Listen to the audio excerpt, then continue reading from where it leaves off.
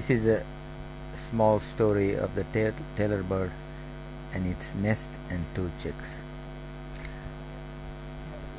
The birds have built a nest on a small mango tree by enclosing three leaves and stitching them together by woolen threads.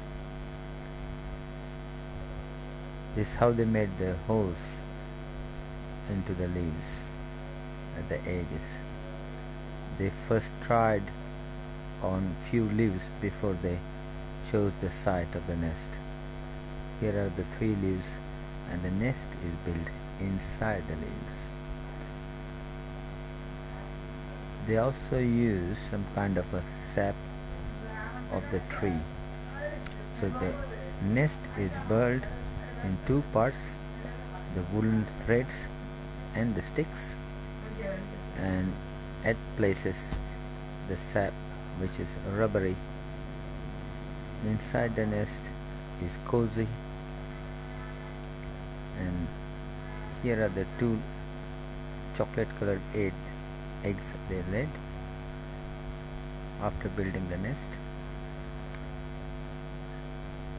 And here is the bird sitting on the nest watching carefully.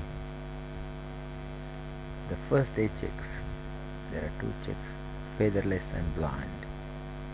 They are always hungry opening their beak as wide as they could. No feathers still and they are still blind and helpless. Now they look better alert They have grown feathers on the wings and at any moment in the nest they open their beaks as wide as they can. The, the feathers are growing on their wings and on their heads.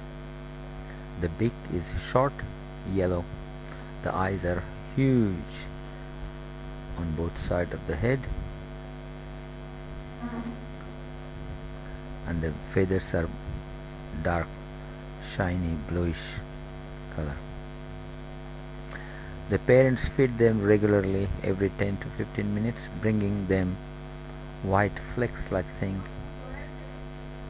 which appears to be some kind of a sap of a tree.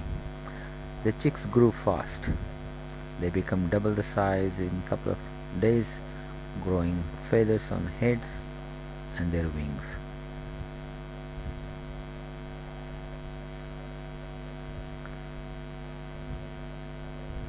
Here you can see inside their mouth the little tongue is developing. They're always hungry. And now they have opened their eyes, slit, slight slit, you can see, and they can make some sound. And their beak, beaks also are little longer and dark.